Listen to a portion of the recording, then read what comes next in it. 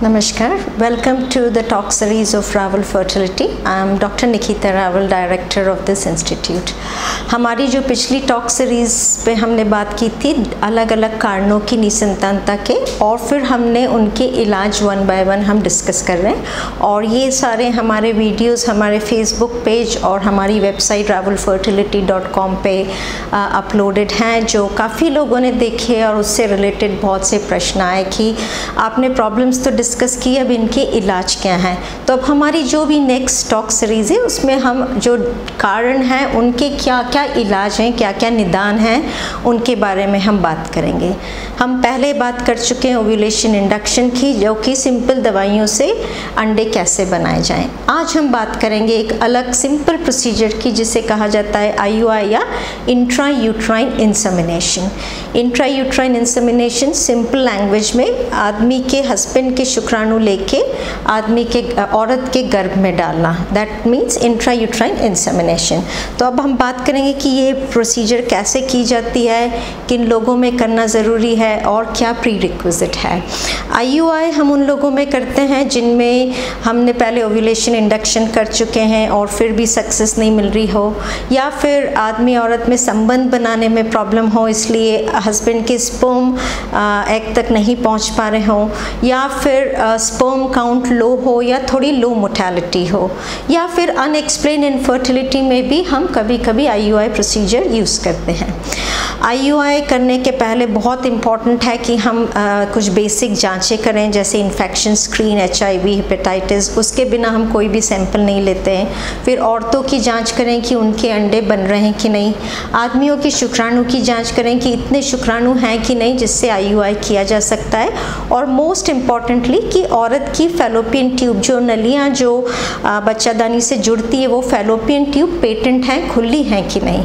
क्योंकि अगर वो नलियाँ बंद हुई तो भले ही कितने अच्छे शुक्राणु और अंडे हम, हमारा अंडे शुक्राणु नहीं मिल सकते और फिर आईयूआई करने का कोई मतलब नहीं रहता है। तो सबसे पहले ये टेस्ट की जाती है।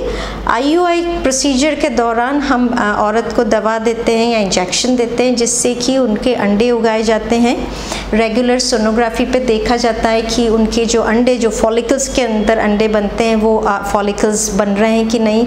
और जब वो फॉलिकल जिसके अंदर अंडे हैं, वो एक राइट साइज़ का हो जाता है तो फिर हम एक इंजेक्शन देते हैं वो फॉलिकल रप्चर करने के लिए और उसके कुछ घंटे बाद हम हस्बैंड का सीमन सैंपल लेते हैं।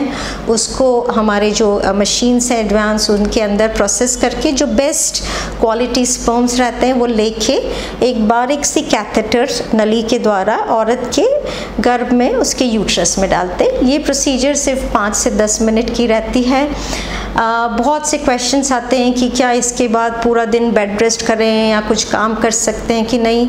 तो ये बहुत ही नॉर्मल प्रोसीजर है। यूजुअली प्रोसीजर के बाद पाँच दस मिनट लेडी रेस्ट करती है क्लिनिक पे एंड उसी दिन वो घर जा सकती है और अपने जो भी काम है वो कर सकती है।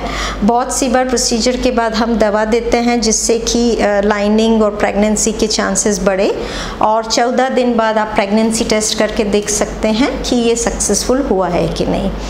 आई की सक्सेस रेट बहुत बुक्स में अलग अलग दिए हुए हैं, पर normally quoted success rates are between 10 to 30 percent तो बहुत ज़्यादा एक्सपेक्टेशन नहीं रखें कि इससे 100 परसेंट रिज़ल्ट आते हैं। अगर आईयूआई एक या दो या तीन बार में नहीं हुआ हो तो आई थिंक समझदारी इसी में कि हम आगे उससे एडवांस ट्रीटमेंट के लिए आगे हम बढ़ें।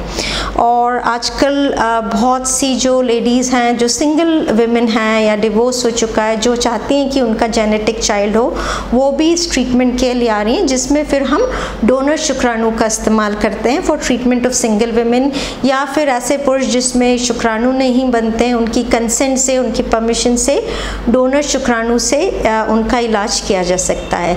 सो इन शॉर्ट आई बहुत सिंपल प्रोसीजर है। इसके खर्चे छः से आठ हज़ार के बीच में होते हैं तो बहुत एक्सपेंसिव भी नहीं है, और बहुत आराम से की जा सकती है, पर ये है कि अगर वो सक्सेस नहीं हो रहा है तो समझदारी है कि हम उसकी नेक्स्ट स्टेप पे बढ़ें। So this all this is all what I want to tell you about IUI procedure और नेक्स्ट हम एपिसोड में इससे advance technique the assisted reproduction techniques like IVF and ICSI will discuss about them so please watch us and please look forward for our further episode where we are going to discuss all the advanced and latest uh, advances in reproductive medicine. Thank you very much and have a nice day.